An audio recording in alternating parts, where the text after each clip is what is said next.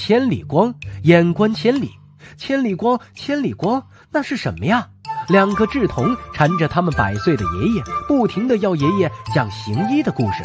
其中有则故事是讲关于草药千里光的由来的。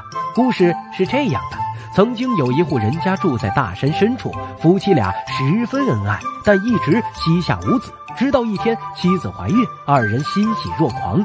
经过十个月的漫长等待，妻子终于顺利产下两个可爱的女儿。他们给女儿取名，一个叫美美。另一个叫东东，但不幸往往掩藏在幸福的背后。两个女儿出生后，眼睛都不太好，看不到远处的东西。慢慢的，他们长大了，眼睛总是流泪。老两口爱子心切，为治好两个女儿的眼病，东奔西走，遍访名医。两个女儿也用了很多药，却总是没有什么效果。夫妻俩伤心欲绝，妻子更是终日以泪洗面。倒是这两个女儿十分乖巧懂事，经常安慰父母，这才使家中有些许欢声笑语。他们就这样相依为伴的度过了童年时代。直到一天，两个志同的爷爷去那座大山里采药，途中疲惫，借住在那户人家中。当时爷爷觉得奇怪，这家人都神情焦虑，眉头紧锁。询问过后，才知道他们为女儿的眼病烦扰。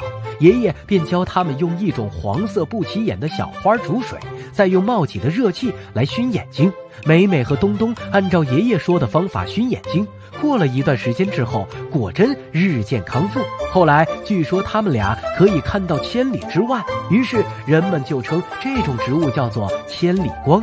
千里光又名九里明、九里光、千里吉、眼明化等。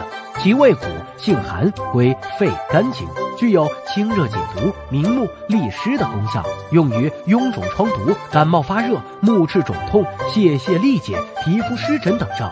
千里光不仅有药用价值，还有观赏价值呢。它生于山坡、林边、路旁、沟边草丛中，因此它还成为沿途风景的亮点。